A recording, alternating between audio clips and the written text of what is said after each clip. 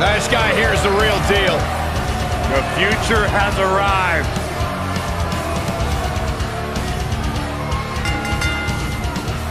Making his way to the ring, accompanied by Zelina Vega from Gomez Palacio, Durango, Mexico, weighing in at 215 pounds,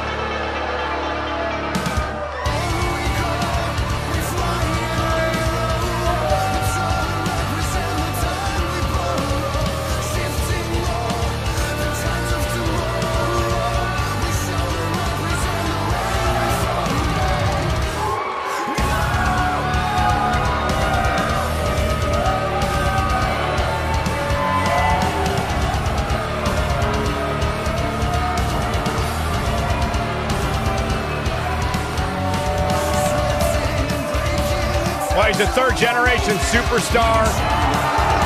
Really has uh, been refocused here in WWE. Much of that success can be attributed to his business manager, Zelina Vega.